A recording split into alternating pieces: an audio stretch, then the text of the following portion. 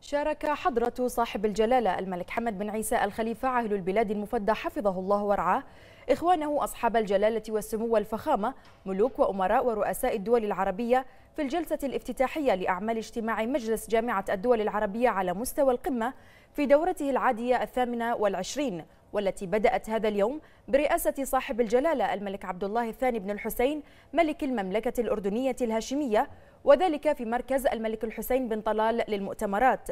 ولدى وصول جلالة الملك المفدى كان في استقبال جلالته جلالة العاهل الأردني الذي رحب بجلالة الملك شاركا جلالته على تلبية الدعوة والمشاركة في القمة العربية.